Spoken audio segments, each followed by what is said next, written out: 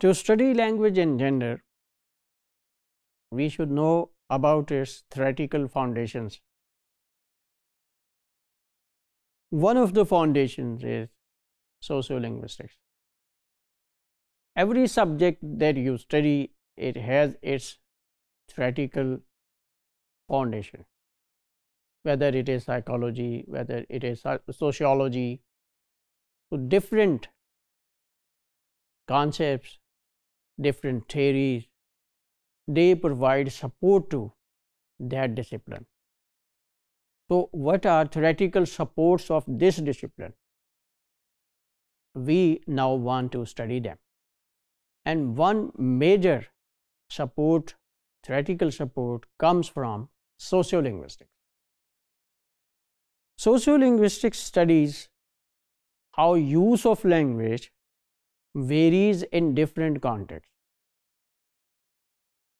Mainly, it is study of language variation.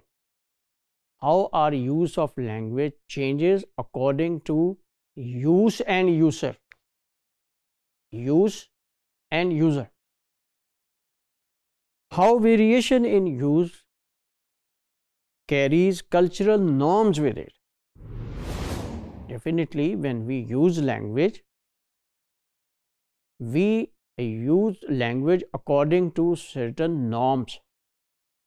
So, along with use, we are also learning norms of use. Sociolinguistics tells us particularly the user's social location. Here location doesn't mean geographical location. It is cultural location, social location, where that person stands in society with reference to class, gender, color, etc. Second, who the user is. First, what is his position, place in society, social category.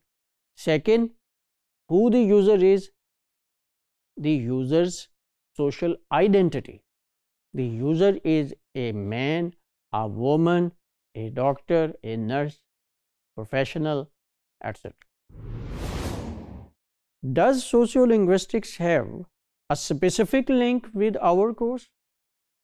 Yes, a big yes. Language and gender originated from feminist movement. Okay. This is the origin and origin of our course language and gender goes back to feminism. But it developed through linguistics. Uh, this relationship of our course with feminism was just a starting point.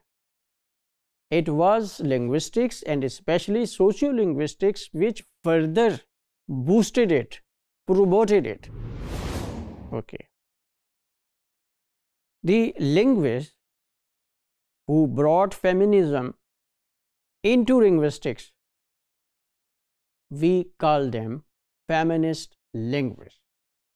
Most of these linguists, they are or they were sociolinguists.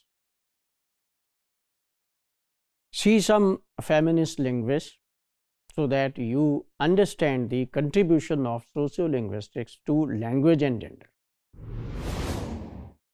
Here is Professor Cameron, Deborah Cameron. She is from UK. And on my left side, extreme left side, is uh, her image. And this is her recent work, Life and Language. And then uh, on uh, uh, next to her, we have Carol Chomsky. Carol Chomsky was wife of Noam Chomsky, a well-known American philosopher and linguist and political analyst. The whole world knows him. She was his wife. And her particular interest was language acquisition and gender. She is also counted among top gender scholars of US.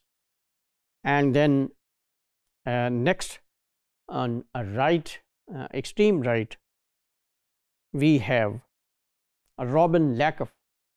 She's also from US. It was she who first pointed out that women have their own specific language. The language of women becomes their identity.